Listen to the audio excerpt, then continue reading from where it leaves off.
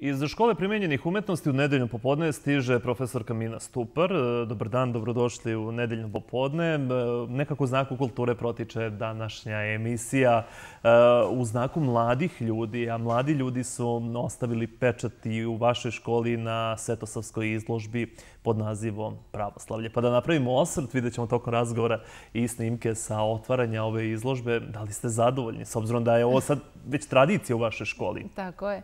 E, naravno da smo zadovoljni. E, ove godine jeste naziv pravoslavlje. Prosto smo hteli da se osvrnemo na 800 godina od autokefalnosti e, Srpske pravoslavne crkve.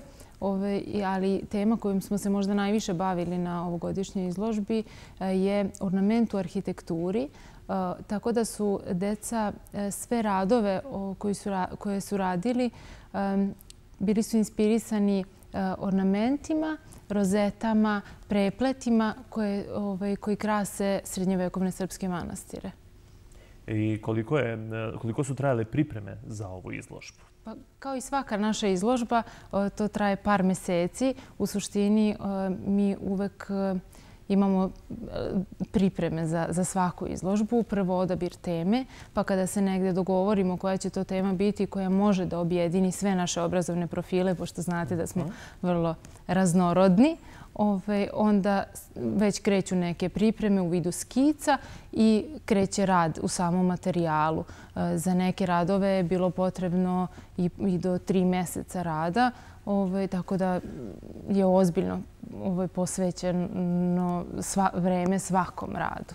Dakle, svi su bili uključeni od stilskih krojača preko svih drugih obrazovnih profila, tako da su svi imali mogućnost da se pokažu na ovoj svetosavskoj izložbi. Tako je. I negde ono što uvek ovaj, gledamo da da napravimo na svakoj našoj izložbi, to jeste taj spoj uh, tradicije i savremene umetnosti. Tako da svaki od tih eksponata na ovoj izložbi, ali i na svakoj drugoj našoj izložbi, je e, negde da o tim tradicionalnim tehnikama i materijalima uh, napravimo e, potpuno savremene i moderne eksponate.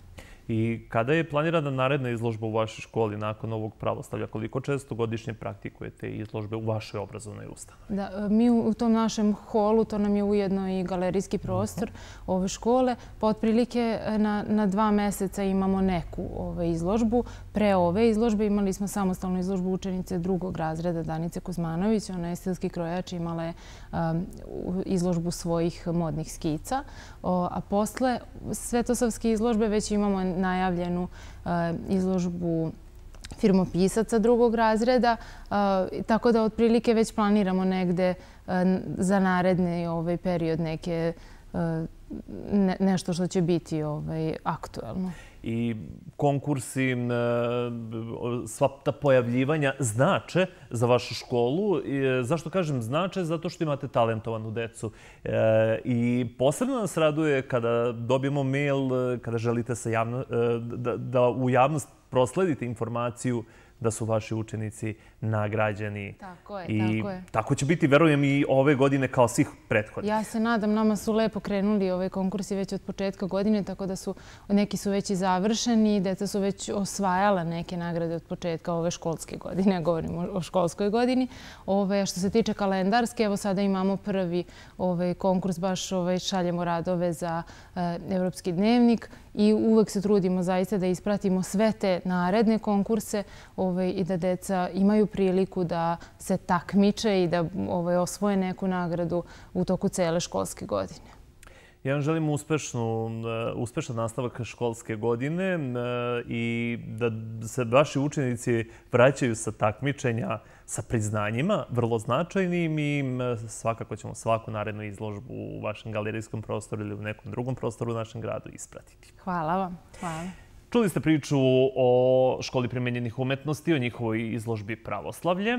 Možete sratiti i do škole, pogledati u njihovom galerijskom prostoru radove učenika od prve do četvrte godine.